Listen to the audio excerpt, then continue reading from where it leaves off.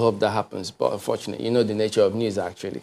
But all right, so let's go ahead and take a look at what the dailies have got today. We've got Richard Mammah joining us to take us through some of the dailies. Good morning and thank you for coming on today. Good morning. Thank you. Well, let's start with uh, Nigerian Tribune this morning. Look at the lead story here today. Southwest schools set to reopen, ready for WASSCE. Uh, course, you know, if you've been keeping tabs on the news, this is what's been playing out for a while now. Look at some of the riders now. Set August 3 resumption date for SS3 students.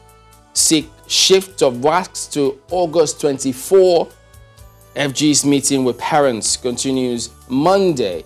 Uh, and I know that uh, Tribune, uh, yes, highlighting this one today. But you also, there's a meeting that's scheduled today between, uh, I think, the minister, the ministry, and uh, I think the House Committee on Education, uh, Basic Education Services, just to get some clarity as to why that announcement came. But you must have kept tabs on this one. What's your thought about it? I think that generally is in order. We, Which part? Which one is in order? Okay. we have a health crisis, COVID, oh. Oh. and that is uh, what had uh, precipitated the shutdown of the schools at this point. Mm. And uh, I think that uh, proceeding from there, there, there have been some kind of disruption mm. in the entire, you know, educational ecosystem and indeed in every other system, as it, as it were. Mm -hmm. And uh, you know, that, that other word that uh, you find in the Bible, you say, why sit we here until we die? You know, we've got to find a way around all the circumstances that have befallen us. And this is one of it. We have an educational system. We have children who have worked for, say, six years. And this is, you know, the tail, the, the, the end of the process. And then this crisis happens and there are estimated 1.5 you know, you know, million children involved. As a nation, this is a logistics challenge and we should address it. But you know, this is coming on the back of that, uh, uh, well, the, okay, announcement by the Minister of Education that, look, they're not going to go for WAEC. Schools under the supervision of the ministry uh, will not. And he was appealing to all the others to follow suit. But we know, uh, I think Benue as well saying they're going to go for the WAEC. Southwest schools now saying they're going to go to the WAEC. So doesn't that paint a picture clearly of uh, what? A house divided against itself? Yes, it does at a point. But at another point, I think that the minister, because the, the minister's response came after an initial position from the presidential task force that it was okay for Nigeria to get involved in WAEC. You know, so the, the, the, there are 30, you know, connection points in the system. It happened with the African Trade Agreement, you know, issues. One Federal Executive Council has a meeting and says, hey, Nigeria can participate in, in the, in the uh, uh, treaty process. And then uh, two, three days later, he said, no, the presidency has said that it's not okay. So, you know, when you have a presidential task force, the, the, Minister of State was involved in the process, and then you now come subsequently and the minister comes in, it says, hey, where was the minister? Does the Minister of State not represent the government, as it were? You know, you've had the same issues with, uh, you know, uh, the Minister of Labour, wherein the Minister of State says A and the Minister says B. Wasn't the Minister of the House? No, the House, the National, the National no, no. Assembly. If, I'm talking even at the ESCO, at the ESCO system, because there were reports about uh, the minister, Chris Ngige, you know, apologizing to the National Assembly on behalf of the ministry. That, that's not a policy statement. No, no, but you know what it says is that Minister and Minister of State, don't you talk? Don't you exchange memos before you come in public? Because once there was a summons, the House said, come and explain what this is all about. Now, you mean you did not discuss it in-house? What's, what's wrong with his apology? Because if it was a, I mean, not that that was planned, the spur, it appeared, or oh, I, I stand corrected, Mr. Keyamo's uh, outburst. Yeah. It, it appeared as though it was a spur of the moment kind of thing. So if the minister had gone, okay, okay, well, just trying to calm frayed nerves and then apologizes for that, what's wrong with that? Yeah, but you know, consequential developments. Yes, you, you could read it at one point that it was spur of the moment, but consequential issues uh, the, the, the, the, Minister of State says he has had a meeting with the President on this, and the President says, hey, go on with the program. So we are seeing things that are more than sport. We are seeing things that are, you know, having to do with temper, you know, temper differentials in governance. Now, that's normal for people, but, you know, there should be a process of harmonizing when government says, when the presidency says, when the administration says, you know, on any issue, it should be the voice of the administration. But the minister, are you saying that the minister actually agreed with the National Assembly on their position, contrary to that of the executive? No, I, I think what the minister was trying to do was, was politicking. I think he was trying to, you know, troubleshoot, you know, in that sense. But the fact that you've got to do a whole lot of troubleshooting, you know, oh. in the public arena oh. means that you are not having a whole lot of coordination backstage. It's so, a husband and a wife fighting in public. Okay, now, concerning this lead one now, what do you expect? Now that uh, the Southwest schools and some, some other schools across the country are saying, look, we're set, we're ready. It means they're going to participate. And the minister, I don't think has, there's any announcement to the effect that, okay, uh, we've since rescinded that uh, decision of mine. What should happen? No, I think what should happen is that they should, they, they, should, they should talk. First, these issues are that education, you know, is on the concurrent list. So that means that the federal government can have a view and the states can have a view. So there is nothing that the states are doing that is out of order, you know, in that sense. Right, but then in the, for, the, for, for the sake of managing national processes, national crisis, national emergency, and national issues, you know, in that sense, there should be a discussion. How many children are we talking about? What kind of logistics can we you know, put in place? Nigeria is the biggest player in the WAEC ecosystem. So Nigeria should be able to dictate and say, hey, you know this thing? We need two more months to put these details together. You know, we want to win this also. Because we have 1.5 uh, million children that are going to be stuck in the, in the revolving chain. We want to win this, and so give us two more months to put our house together so that we can have a befitting, you know, mm. uh, intervention in this whole process. All right, so I mean, the story at the bottom strip, you uh, might have caught it in our opening sequence. Father speaks as Nigeria's 24-year-old first female combat pilot killed in car accident. I mean, everybody would be heartbroken normally about this kind of scenario, but um, yeah, you, you, didn't even get a chance to comment on it while we opened. so, what did you? How did it hit you when you when you heard it? No, no, no. My my my heart goes to the father, you know, the immediate family, and indeed the entire nation. It's painful. It's painful. By God's grace, they have a child. This child has grown, and as I think Mark was trying to say, she's broken all of the sayings. Uh -huh. You know, 60 years after independence, almost about the same six decades of setting up the Nigerian Air Force, you know, we finally have a combat helicopter, you know, pilot from the female gender. She's done well. There are issues about whether she's 23 or 25, but then let's, let's, let's leave it at that. But she's young and she speaks to the promise of Nigeria. She speaks to the promise of our young people. They're, they're, not, they're not idle. They're not dull. They're not dumb. They can achieve, they can aspire, they can build capacity, they can fix this nation. And I think that it's painful. It's painful. It's tough. So the elderly one should stop saying, hey, young, sit down. What you can see standing we see sitting down. Perhaps they should slow down that proverb and let the young ones No, I think that, program, that proverb should be thrown away. it doesn't make sense. It doesn't make sense. These guys are 80% of your population. Perhaps one of the things that's even more painful about her is the fact that, I mean, I mean, 30 years down the line, she could have been a major consultant speaking to many things, you know, because of the experiences that she could have gathered. But anyway, let's move to the Daily Trust newspaper this morning. It leads with an economic story. Farmers, small businesses get CBN's interest-free loans. And as the lead of the Daily Trust newspaper this morning, it'll allow Muslims to take facilities. It's according to Dr. Bashir um, selection must be transparent, according to beneficiaries and analysts. Hail measures. Is it the main headline that grabs you there or the sub headlines? Let's say the, the sub, they said the devil is in the details. And uh, the one that touches about the process being transparent. Mm.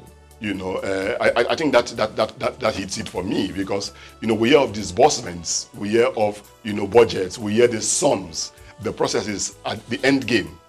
Who did it get to? Did it get to someone that is neighbor, you know, can point to, you know, uh, and did it did it have a quite representative spread, you know, in terms in terms of the national, you know, uh, you know, uh, you know, mix? Because we do have you know, crisis everywhere. You know, the crisis of poverty, the close to 100 million people that, you know, were in the poverty bracket, and uh, the expanded numbers that COVID-19 has also, you know, added, you know, have to be addressed across the spectrum. You know, and it, it just speaks to the fact that, yes, uh, the CBN is about intervening now, but then we needed to have done this 20 years ago. But you know, really, it's not the first time the CBN is talking about this because I mean, in recent years, CBN had talked about a 50 billion naira MSME facility, but um, the, you, you raised the issue of um, who does it get to, but then it also raises the question of how it gets to the people, right? Yes, the how. You, you, you know, when you deal with processes of this nature, one of the things that you've got to find out is to say, hey, what are the structures through which such disbursements, you know, are made? Because you are going to disburse these monies to people. And then you've got to also find out, okay, what again are the issues that may arise, you know, post disbursement. For example, you have this EFCC crisis now, you know, and you want to ask yourself and say, hey, what's going on? There's, there's supposed to be a war against corruption and there's supposed to be a structured system, you know, to address each and every part of it, you know. But we're hoping that, you know, ultimately you'll be able to come out to the open and say, hey, okay, this is how this has gone, this is how this has gone, you know. But it's better to be proactive, to have institutional and structural mechanisms ahead of time to say, let's address this, let's address this, you know. And I think that's where the CBN is, you know, has to watch it because the CBN is an apex bank. It's mm. not a primary organization that relates with, you know, the man on the street. Okay. You know. Well, so many things, just as you said, we'll have to find the details and take the devil out.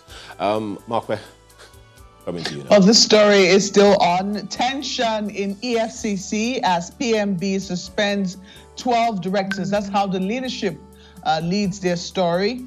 Magu regains freedom after 10 days in police custody. Rights panel demands charge sheet, copy of Malami's memo Youth Council backs president's anti graft war. Now, there are those who have said that at the end of the day, they don't see anything coming out of this. What's your stance on this when uh, we eventually saw the uh, suspended acting chairman of the EFCC uh, regaining his freedom? What are your thoughts on the probe so far? Yeah, I, I, you know, straight away I would say this is messy. Nigeria is supposed to have been fighting a war against corruption and uh, every war is fought with a strategy, with a battle plan, with some structure, with some process. So uh, by the time the central manager or you know the, the, the face, the first you know face of this war, you know uh, is you know uh, involved or supposedly involved in such situations, it means, for example, that we've actually been quite tardy, you know, in the entire process. Now and then to come to find out that you have to now uh, take him into custody for the better part of two weeks, and then you release him on bail. Now, this is supposed to be processes, investigations that are supposed to have been addressed and tidied up. You know, it should not take more than 48, 72 hours to get into, you know, prosecution stages. So, which means that uh, you don't fish for evidence after the fact, you know. The, okay, if, if at the end of the day we come to be told that, uh, hey, no, no, there was just a, a few, a few mix-ups. What about the reputational damage to the nation?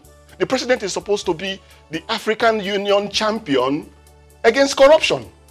The president of this country, who has been running this war, who's been waging this war for five years, is supposed to be the African champion against corruption. Just last week, he made a statement asking that the African Union should work harder, you know, at you know tackling corruption. Is there anything that negates that? No, no. Well, the tardiness in the, in the entire process. You, you, you, you must put your house in order. You must set examples, not just in terms of the conceptual, not just in terms, you know, of uh, the speeches, but also in terms of the activity. An anti-corruption, uh, you know, uh, what they call it, agency, head of an anti-corruption agency, taken away for 10 days, and then he walks home and says that, uh, no, this is just a, a, a tea. Are, are, are we playing games here? Okay, you expected him to say something else. okay, well, let's jump to the next one so we can capture some more just before we wrap up. So take a look at Vanguard next, or the same theme as well. Magu gets bail as FG suspends 12 EFCC directors. He hasn't been brought before panel since last Thursday, says his lawyer. Adds he's yet to see allegations against him IGP writes Magu's lawyer says he has no hands in his detention. So maybe Mr. Magu is going to start reading up all these things that have been written against him previously. So that's what you find. And then, just above this lead story, 774,000 jobs. Back to what we started out. Senators, reps insist program remains suspended. This is the latest perspective after that emergency session yesterday. So, where lies, where, where do you see this headed? I think I, I, I, I don't know. You know, you, you, there are troubles that are predictable. There are troubles that you bring upon yourself. You know, and I think this is one of those troubles that we have brought upon ourselves. and I think at the end of the day, okay. we may not get real value for money, you know, yeah. out of the entire process. Well, Mr. and Mrs. is quite interesting, but I may have to just jump it. Oh, wow, can I resist it, guys? Um, well, let me just quickly say. He says, look, um, I never thought that's Mrs. telling Mr. I never thought you would like that part of beef, as they say, one man's meat is another man's poison. And Mr. who is right on the table uh, eating says, you're a married woman. What's your business with another man? Your job is to cook for me, only, only me. So forget about that proverb, perhaps. That's Vanguard this morning. Look, Guardian, very quickly. UK's new migration visa lures Nigerian doctors. More health workers may flee. Uh, Nigeria can only achieve sufficiency in 100 years. We want to find out who said that. 58 doctors stopped last week have left the country. So many issues about this. Can you attend to this in 20 seconds? How did that happen? they say when it's a nation, a, a nation, you've got to plan.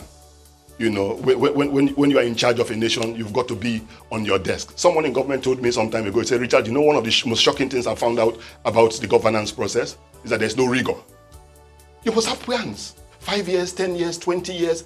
We, we have a global ecosystem of competing nations, and each one is trying to get the best for its own people. And the only business while you're in government is to get the best for your own people.